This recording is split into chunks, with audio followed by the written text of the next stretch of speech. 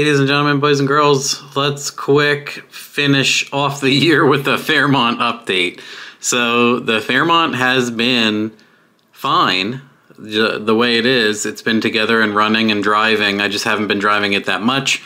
I have a lot going on with some other cars. I am working on one that I just want to finish and not post anything about. Just gonna finish the thing and be done with it. And I wanted to get the Fairmont on the roller before the end of the year to I haven't had any coolant issues, no head gasket, no any issues with this even leaking a drop. So LY6, it has the converter killer cam in it that uh, Texas Speed and I did as a joke. It has that in it. It's not ideal for a square port engine as a few people have said, but at the time it, it was laying around. I just swapped it back in. So anyway, it has the TorqStorm, the LY6, a drop-on LS3 intake. Honest, I don't even know what size Snake Eater injectors are in there. I think it has Snake Eaters or Hunter tuned. Uh, I go back and forth a lot with their stuff, so it has either one of those in it. Um, embarrassing, I don't know. Maybe we'll go over data logs, but it's not that important. So it mostly runs about five pounds of boost uh, on the converter almost everywhere. And then between that 6 and 7200 area, it throws some in. It saw like 8 pounds peak at 7200 but that's not like a LSA or a roots blower. It, it that is peak. It, it, climbs, and that 8 psi is the absolute peak at 7200. Just letting people know it's not like a turbo car that might make 10 flat the whole way or, or similar. So yeah, it's 8, but it's 8 at 7200. It's not like it makes 8 pounds at 3000 or something. It would be very different. Uh, and hopefully when we pulley it up, we see that. So it's the base smaller 75 millimeter TorqStorm blower LY6 LS3 intake manifold. I have a 044 clone, I think, or a real one. I'm not sure. It's filling my surge tank. I have a DeatschWerks is how they pronounce it. Their triple pump surge tank. It has two Snake Eater 415s in it, just running hot all the time. One of the issues I had today was I have a six relay fuse panel in the back of the car and I had them mixed up and I was only running on one pump. So the lift pump and just one of the 415s and I made a hit around five and change of the tire and fuel pressure was nosing, which obviously it shouldn't. And then my buddy Kenny was there luckily and we just uh, pulled stuff in and out and keyed on and off until we found out which ones were which and I ended up having to move my relay to make sure that the twin pumps were actually on. It made 8 pounds peak. It has a 3.5 inch pulley on the stock TorqStorm kit. I believe the 3.5 comes with a G8 kit. They gave me a 325 and a 3.0 to test, but I want to redo my belt stuff at home and just go back. Uh, I haven't had the greatest luck out of uh, this vehicle, so I was like, you know what? I'm going to do a health check. The other thing, I've been messing with the transmission, and I cannot get mine to tap shift, but I think I figured out why. So I have wasted so much time uh, with this vehicle just messing with the tap shift. Like I'll be like, hey, I'm gonna drive this, it'll be fun. And I'll go drive it and start messing with that and be annoyed immediately. So this was just like, just go dyno it. It made, I had a pretty soft ignition table in it. It made 510 to the tire. And I put one degree in it in between the fuel pump change. And the fuel pressure is awesome, as it should be with twin pumps. So that fixed that, and one degree picked up 18 rear wheel peak and a lot of chunk in the mid range. So it might not even have all the ignition at once already at 8 psi peak here, about 5 average, and it'll be neat to see. So they gave me a 325 and a 3 inch pulley, and then they say with this combination, the Corvette Balancer or the 5th gen or the Caprice or the G8, etc. They're all it'll mechanically overspin the blower with less than a 3 inch. 3 is cutting it close, I think, mathematically. I did the math with the my rep back and forth. I cannot remember his name. Don't kill me, please. I'm sorry, dude. I know too many people and I am terrible with names. I'm sure some of you can. So we talked about it. He said it would be cool to see me overspin it, but they're not going to give me anything to overspin it. And they void warranties for people doing that. But this will be one of those scenarios where I'm going to throw that pulley on and we're going to dance around the overspin limit and see because he said they've done it and they make power, but at a detriment to the the blower itself. It sacrifices horsepower per pound, a lot of things. Like you, you can get it, but the temperature and everything else, it, it doesn't add up. So that's what we're going to test. We're going to see. So I believe I have a 2.8, a 2.9 or a 2.8 from Griptec.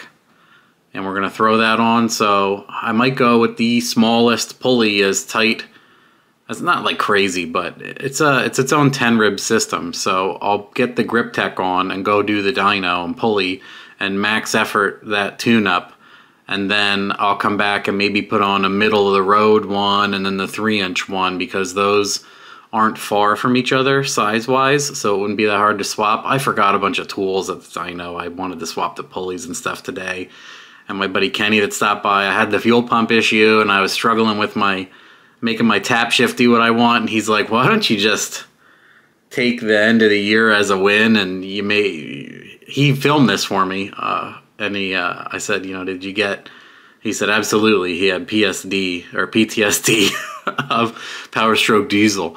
He was worried that it would sauce him with some kind of fluid and just absolutely nothing happened. And that was a little bit disturbing also.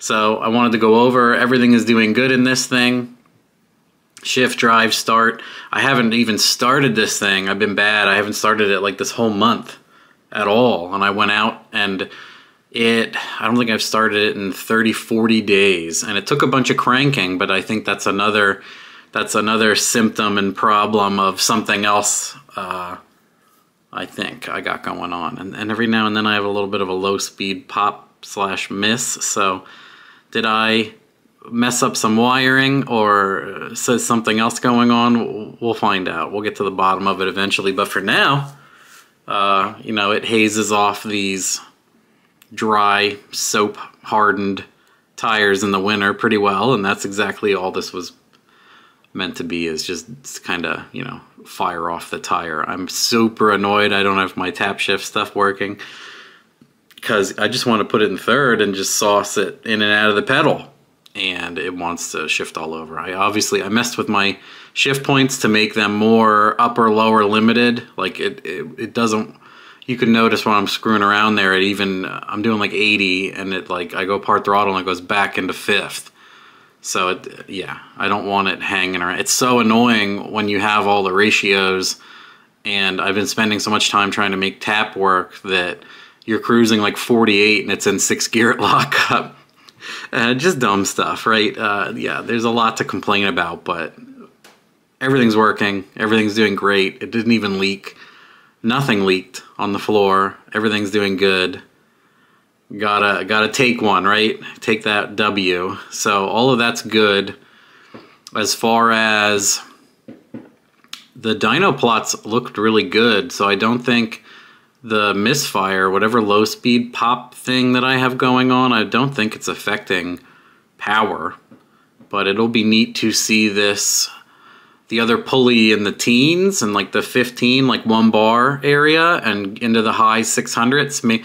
I, I said if this thing can make like 701, that would be phenomenal. And it would be a riot. It would be dumb to drive. Uh, I would love to see it make 701 and then put it on a scale again, like get my friend's corner scales and scale it again because I moved so much weight in and out of the car and changed the pumps and do a surge tank and did an iron block and a blower and yeah, I've changed so much. And the next big thing is the steering has so much play in it somewhere and I replaced uh, I replaced the tie rods and I replaced the steering shaft, which I've never done on a Fairmont. I bought a nice steering shaft and it still is awful. So it's the whole rack, which it's the only manual rack. I've had power steering Fairmonts, very few with power steering, most of them with the power steering hooped, with you still turning it manually. Honestly, that's almost my preference. And then this has a manual rack and manual brakes and everything. This is like the, the super manual, low budget edition Fairmont. The brakes are awful and the steering is awful still. Like you roll into it and it, it changes direction and you get out of it and it settles funny and the, the brakes feel like you can feel independent left and right grabbing differently and it's darty and it bump steers and whew, it's it's chaotic. So it'd be nice to sort that out. Usually the cars drive so rock solid you just add the horsepower and laugh about it but i'm like this thing like doesn't want to like the body rolls funny and doesn't return on center and it does it's silly. So all that's got to get worked out to be a little bit more confidence inspiring but yeah I probably talked way too long already. So there's a quick end of year update for this guy. It's doing good. It's driving around. I got it out today and smacked it on the dyno. It looks like I finally put my head gaskets in correctly by leaving them the way the GM installed them, which is how I recommend you guys do it also. So let me know if you have questions below for the Fairmont, but I want to pulley and take it back soon and do a little bit more maximizing on that. I absolutely need to get this tap up, tap down working because I want to be able to like paddle off some shifts and burnouts and stuff, and I don't always want to be uh, like power down shifting it. Uh, it's like a my brain won't let me do it. It's so annoying. Um, anyway, the idea of having all the gear ratios is to manipulate them and not have it doing it for you. Anyway, again, what is the guy in the Matrix? I totally lost interest when the guy said vis-a-vis about 85 times. Maybe it was before all that. There we go. See you later. K, thanks. Have a nice new year. Bye.